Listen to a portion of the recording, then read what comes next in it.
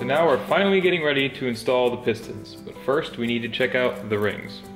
So this set of rings comes with two different kinds. One has a bevel and one does not. The one with the bevel, and it has a little dot on it to show you which side goes up. The one with the bevel is the top ring and the one without it is the bottom. And then we have all the oil control rings and the grooved oil control rings. So I believe these rings should be pre-gapped, but that does not mean we can install them without checking the gaps. Another good thing to check is the depth of the ring groove. To make sure if there's buildup in there or if something's just a little funny, your rings will not bottom out on the ring land. As long as the shallowest point of the ring is below the surface of the piston, you'll be fine. Okay, now we'll check ring gap. So we'll take a ring, this is a top ring, and we'll just insert it into a cylinder. And there are special tools for this, but you can just use a piston and push it down keep it square with the cylinder deck. Okay, and then you come in with your feeler gauge. I'm gonna guess 18, I think these are somewhere around that. And slot it right into the gap. It's a little more than 18. So that's about a 21 thousandths ring gap. So this ring in this cylinder at the top has a 021 ring gap. Now if you want to be thorough, what you also want to do is check towards the bottom of the cylinder. The top of the cylinder is of course going to wear more, but you still need to make sure you have enough gap at the bottom. So we'll push it in farther.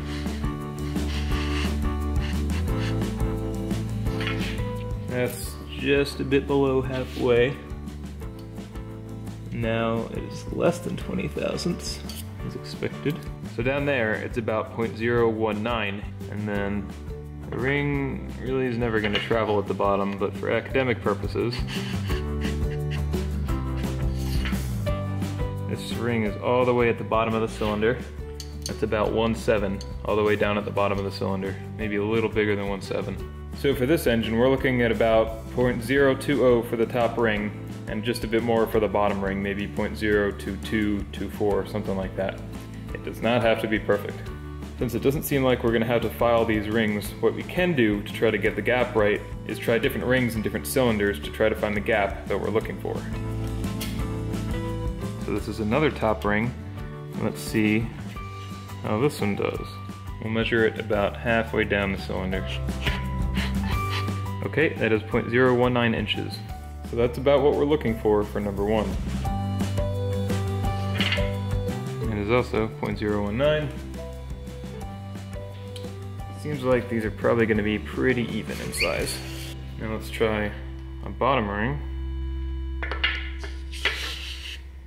And that's it's about the same. It's about 0.019. In an ideal situation, well, it depends on who you ask. Some people like bigger gaps in the bottom ring, some people like bigger gaps in the top. It looks like these are gapped to be the same top and bottom, so we're not going to worry about it. This is a low power NA engine. I don't think this is going to be of any concern. So now that we know we have two rings that are good fit for that cylinder, and I checked the gap on these just for kicks and it's somewhere around 0.033 inches, which is fine. So we're just gonna clean these up a little bit. And this is just in case there's something left from the manufacturing process on them. Okay, so now we're going to install the rings in the same order that they came off. So with this kind of oil control ring, it's got little notches on the back, so this has to go onto the piston first. And we'll spiral it on, just how it came off, just like that. Now we have to spiral on the straight rings. Do that the same way. So put that in above the grooved ring. Spiral it in there. There we go. So for the end gaps on these, we want them somewhere around 120 degrees apart. So I'll set the top ring end gap there, bottom ring end gap somewhere around there, and the end gap for the oil control ring right about there. So they're all pretty much equidistant from each other. Kinda doesn't matter too much since everything will rotate on the piston, but it's a good way to start it off like that. And then for these guys, we'll take the bottom ring, does not have a dot on it, into the ring expanders, and just carefully slot it into that bottom groove. and let go. I'll set this 90 degrees apart from that top gap. The top ring, make sure the dot is facing up so the bevel is facing down on this particular ring. And install it somewhere around 180 degrees off. People have varying opinions about this, but just get it on there somewhere so the gaps aren't lined up. Pop that on. So that is our number one piston completed. Another thing to make sure, and I don't actually have a feeler gauge good enough for this, small enough for this, but you want to make sure the piston ring has a little bit of space so it can move vertically. And you want to see between 001 and 002 inches of vertical movement. Can feel a bit of movement in both of these rings. And now I'll go through that same process with all the pistons to get all the rings on, make sure everything is clearanced right, and then the pistons will be fully set up and ready to install.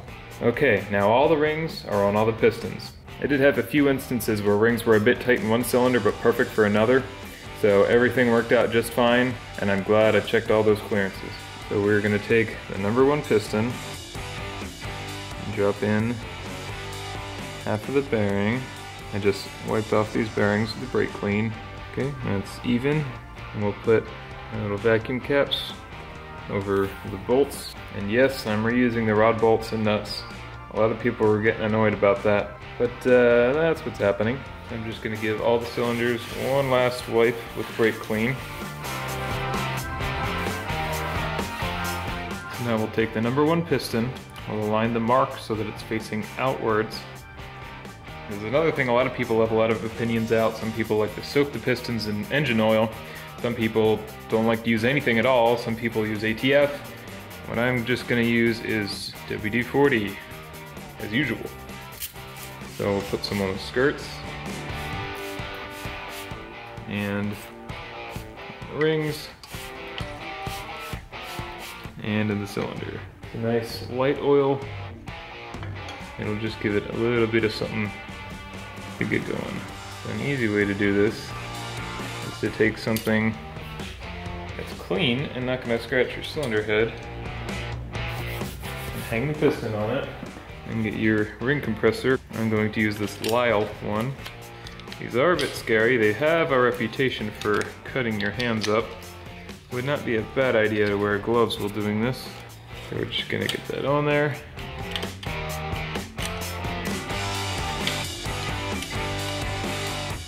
Sure it's nice and tight and even. Okay, hopefully that'll do the job. And we'll make sure it's flush against the surface here.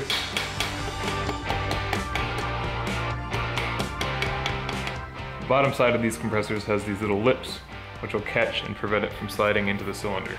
Line up the crank so you have a nice straight shot through and enough space. You're not gonna slam it into the crank. Kind of hold it up, and it works best if you can get it in there one good hit. There you go That was not one hit. But uh, you also don't want to hit it too hard because if something slides or comes part way in and a ring gets caught, if you do hit it, you're going to break that ring. So now if we take a look from the underside, you can see exactly how far we need to push the piston to get it onto that journal. So I'll keep one hand on the rod so I don't slam it into the crank.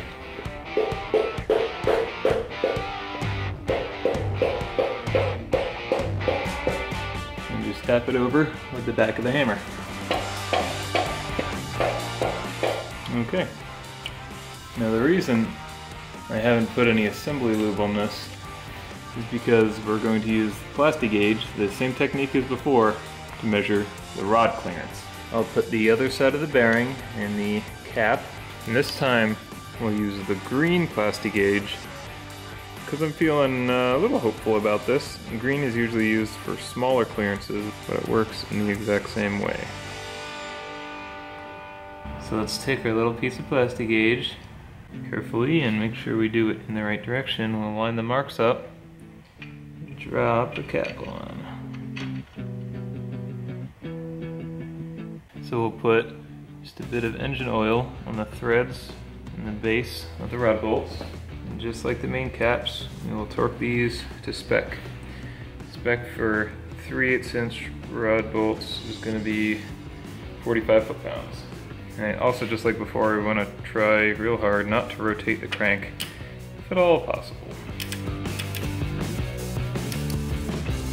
You can see I'm trying to tighten this in line with the crankshaft so that hopefully nothing turns on us here. And we'll try to carefully back those off. Probably worth mentioning, if you want to be as accurate as possible, I guess you'd want to do this with two connecting rods on this journal, since uh, you can see there's a bit of a gap here. This isn't all the way to the side. But I'm not basing any building decisions off of this. I'm just doing this partially for my own curiosity and partially for you guys. Probably want to try to check this on all the rods, or at least one per journal. We're just gonna do it on this one for fun. Now, this guy's gonna behave, and he did. Come straight up. So when we hold the gauge up, we get right on the dot at 002 inches, which is perfect. Rod bearings can get pretty tight on some engines, but you want somewhere between 001 and 0025 inches. So we'll wipe this off, push this down a little bit, put some assembly lube all over it, and reinstall it. Make sure the marks are lined up, facing the right way.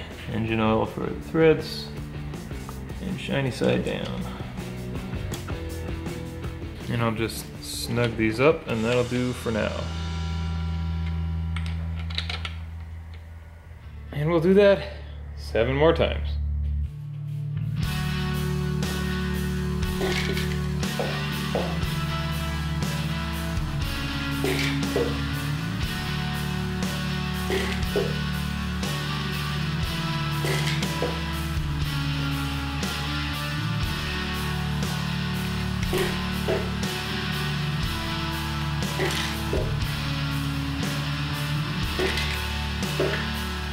Okay, all the pistons are in. Now we'll go through and torque all the rod bolts. Just gonna rotate this to make it easier to get to the first two and to make sure everything is gonna get tightened in order. Not that the order matters, it's really just to make sure you don't forget anything.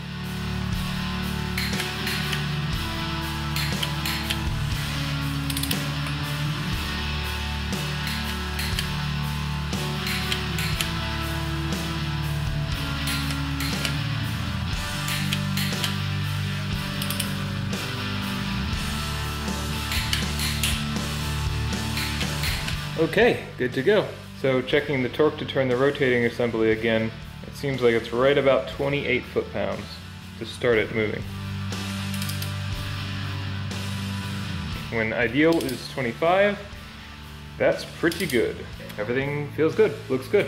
One last connecting rod clearance to check is side clearance. We'll separate pistons here in the center and see how much we have. That's a 15, so 15 fits 18 just barely fits. So we'll say 18 thousandths clearance.